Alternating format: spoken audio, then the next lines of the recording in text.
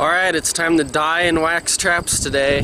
Got the fire going right there, and I got a big trash can full of water. It's starting to simmer a little bit, but it's kind of, it was kind of windy out here earlier, so I put this big cardboard box around it. Not sure if that's the safest idea, but it's working out fine right now. Got a whole bunch of traps to do today. Probably about 200, 150 to 200 traps today. Some more wood. And after we're done dyeing, got a whole bunch of wax. We're going to wax all my coyote traps in.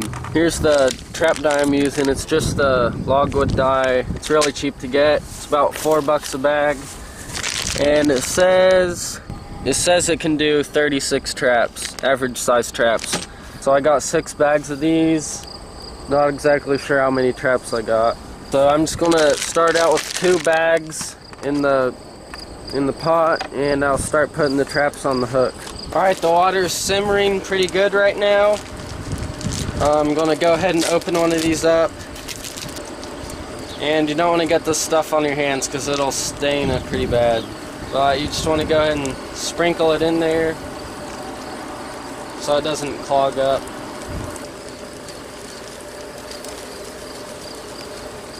Alright, there's the first bag.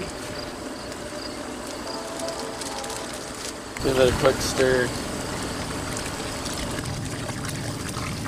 I'm to go ahead and add a third bag and we'll stir it again. This is going to be my first time ever dyeing and waxing traps, so I'm not 100% sure if I'm doing this right. Um, that's what, that's after three bags. I stirred it up a little bit.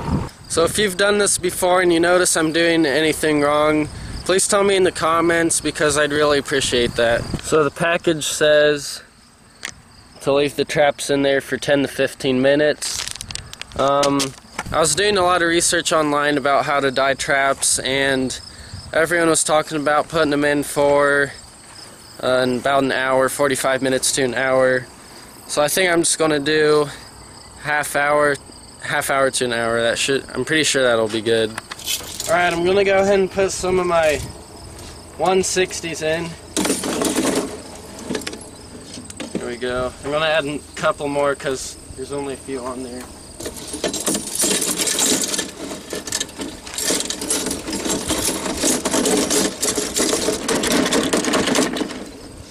I just gotta wait about an hour till all the traps are ready to come out of the dye. All the other people I watch dyeing traps, you see all that film on the top? Everyone says to scrape that out. I'm not really sure what I'm going to use to scrape it out. So I think I'm just going to leave it there and when I pull the traps out, if they look nice and dark, I'll go ahead and leave it like that. I almost forgot to mention, before you start dyeing the traps, you want to make sure your traps have a light coat of rust on them, like that and all my other traps are completely rusted. They still work perfectly fine. There's nothing wrong with them. They just look rusty. But those have a bunch of rust on them, so they'll take the dye really easy. Um, there's a new pan I have on there. It has a little bit of rust. Um, it should still take the dye because there's no grease on it. Alright, this water is actually boiling right now. I don't think I don't think that's what you're supposed to do. I know some people like to boil it, but the ideal way to dye traps is simmering it, simmering the water, because if you boil it, the water can get so hot that it weakens the steel. So it's better to just have it simmering. You can see it's boiling, maybe. Yeah, you can kind of see it boiling a ton. But it's still got about 10 more minutes and then we'll pull the traps up. You're going to be dyeing foothold traps Make sure to have, if you have closed jaws, make sure you have something in there to keep the jaws open so the dye can get down inside the jaws. So you can put anything you want in there. I put a rock in this. But for offset jaws, it doesn't matter so much because you got the, the offset in there. Alright, I'm going to go ahead and pull the traps up, see what they look like. Oh yeah. They're pretty black. Ugh.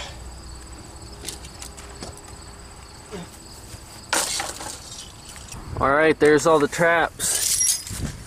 Comparison. turned turned them nice and black. Looks great.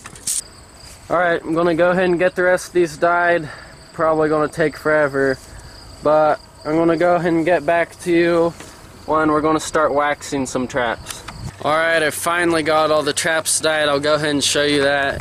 There they all are. Got them all dyed. Um, the ones that didn't have a lot of rust on them, you can see it didn't take the dye very well. It still got some dye on it where there's some rust, but all the others took the dye really well. Perfect, nice dark black color. So all those are done. Now we got the wax melting in the pot. There's some more right there we're gonna put in. And about the film that was on top of the water when we were dyeing the traps, uh, I never did anything with that. I just put the traps in there and left them and all the traps came out fine as you can see. And all the traps I actually only left them in there for about 15 to 20 minutes and it was plenty of time for all the traps to take the dye really well so that worked out really nice. And if any of you are wondering why I dye my traps, it's because it keeps the rust out of the traps and it, it, it basically prevents the traps from rusting. And the reason I wax my traps is it makes the traps scent free. There's no more scent on them and for coyotes it keeps the traps coming out of the ground really fast. So waxing smooths the traps and keeps the traps scent free. Alright all the wax is melted down pretty good.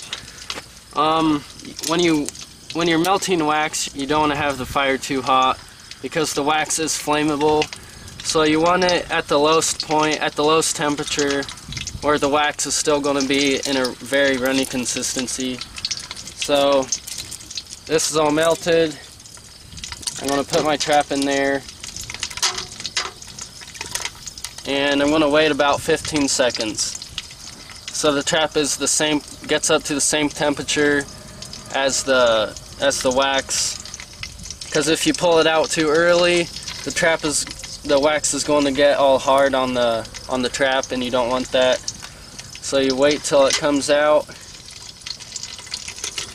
Just like that and you want it to run off just like water. So there's a very thin coat of wax on the trap.